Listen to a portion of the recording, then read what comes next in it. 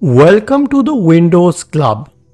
If you wish to stop Windows 10 from preloading Microsoft Edge on startup, then either read to this article on the Windows Club, the link has been shared in the description section or simply watch this video, I'll guide you through the procedure. First click on these three dots at the top right corner and then select settings. In the settings menu, scroll down to the system tab. You'll find an option which says continue running background apps when Microsoft Edge is closed. Turn it off. That's it. This will solve the problem. However, if it does not, you can consider the registry editor fix mentioned in this article. Isn't this easy and interesting?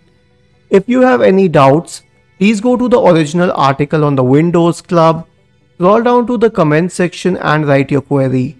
We will surely answer to it. Do not forget to subscribe to the channel. Thank you for watching this video and have a nice day.